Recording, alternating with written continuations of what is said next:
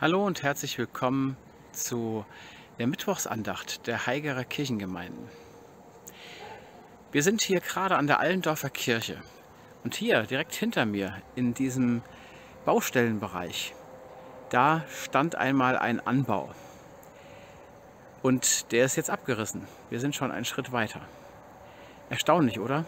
Manches Ende ist ein neuer Anfang, denn hier soll neu gebaut werden. Manches was wir uns in unserem Leben so vorstellen, was wir als Nacht empfinden, ist der Zeit vor dem Morgengrauen, bevor etwas Neues aufbricht und beginnt.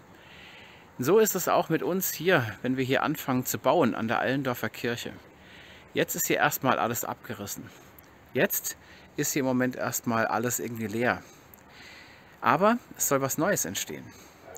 Jesus hat einmal gesagt in Lukas 5, 37 bis 39. Neuer Wein muss in neue Schläuche gefüllt werden. Neues Leben braucht manchmal auch neuen Raum, neues Gebäude, neuen Platz, um sich zu entfalten. So wünschen wir uns das auch hier in Allendorf, wenn wir jetzt hier anbauen, in diesem Areal, wenn der neue Anbau größer wird als das, was wir bisher hier hatten, dass Gott daraus auch etwas Großartiges macht. Und so ist manchmal auch in unserem Leben. Manchmal muss was Altes weg, damit Platz ist für Neues. Und so wünsche ich dir und mir und uns, dass Gott uns segnet, dass wir Altes zur Seite räumen können, damit Platz wird für Neues. Denn der neue Wein, das neue Leben, das Gott schenkt, die neuen Abschnitte, die vor uns sind, die neuen Erfahrungen, die brauchen auch manchmal einfach neue Räumlichkeiten. Und gleichzeitig behalten wir das Alte. Der alte Wein ist besser, sagt Jesus, denn unsere alte Kirche, wie sie bisher war, bleibt auch bestehen. Und das Älteste an unserer Allendorfer Kirche, das ist hier vorne eine Tür, die viele Jahre Eingangstür war und dann abgelöst worden ist durch die Tür in dem bisherigen Anbau. Aber wenn ich jetzt auf diese Tür hier zugehe, die jetzt hinter mir gleich sichtbar wird, dann ist das das Älteste an der Allendorfer Kirche.